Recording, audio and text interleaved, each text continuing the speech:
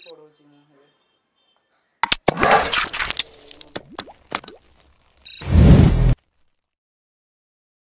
हाय मैं रुपेश कुमार सिंह आप सभी का स्वागत करता हूं बानिक के YouTube चैनल में और आज का हमारा जो इम्पोर्टेंट वीडियो आने वाला है वो है आपका यूरोपियन कॉन्टिनेंट के ऊपर जी हाँ यूरोपियन कॉन्टिनेंट के ऊपर। अच्छा इससे पहले मैं एक वीडियो आपका एशियन कॉन्टिनेंट के ऊपर भी बना चुका हूँ ठीक है? तो अगर त, अगर आपने ये वीडियो अभी तक नहीं देखा वो वीडियो तो जाइए उसको पहले देखिए और वहाँ पे आपको एशियन कॉन्टिनेंट के बारे में बहुत सारे इंपोर्टेंट जानकारी मिल जाएगी। तो आज का जैसे बताया गया आपको हमारा जो इंपोर्टेंट वीडियो है वो रहेगा मेनली आपका यूरोपियन कॉन्टिनेंट के ऊपर। तो चलिए शुरू करते हैं।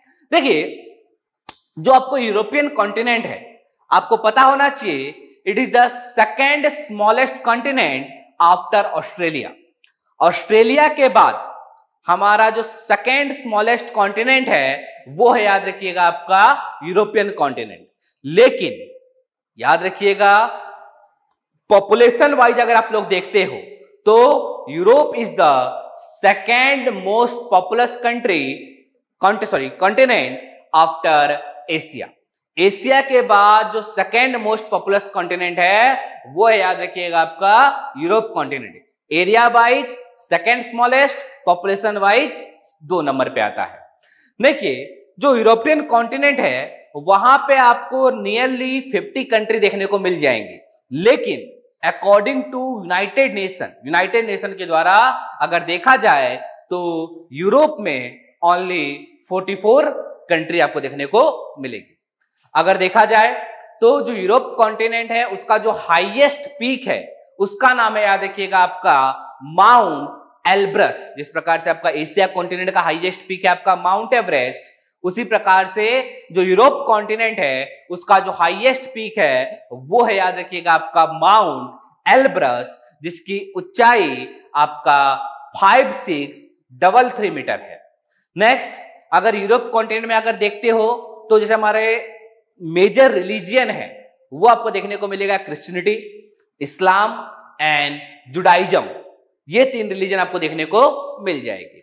नेक्स्ट देखा जाए तो जो यूरोप कॉन्टिनेंट है, वहाँ का जो सबसे लंबी नदी है, उसका नाम याद रखिएगा आपका, Volga.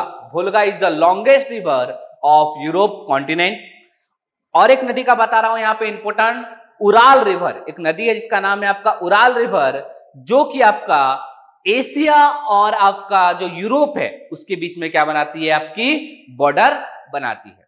नेक्स्ट अगर आप लोग देखते हो कि area wise and population wise Europe का जो सबसे बड़ा कंट्री है, उसका नाम याद रखिएगा आप लोग, रसिया।